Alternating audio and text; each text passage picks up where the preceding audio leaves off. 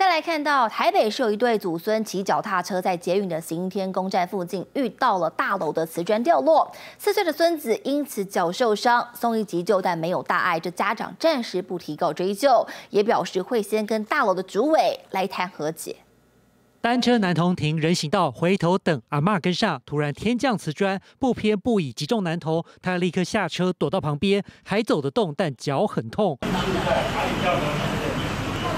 急救人员到场，确认男童意识清楚，右大腿有淤青挫伤，大大小小瓷砖砸落在地，碎成二十几片，差点成了夺命凶器。骑脚踏车经过，他被打了，对呀，打到人，外墙，对啊，砖撞坏掉。对对。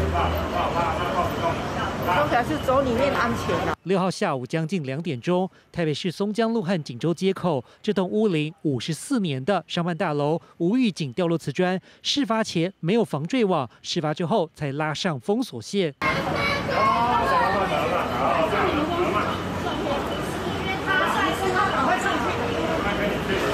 男童送医救治，没有生命危险。他的父亲得知后，希望先跟大楼主位调解看看，先不提告。记者综合报道。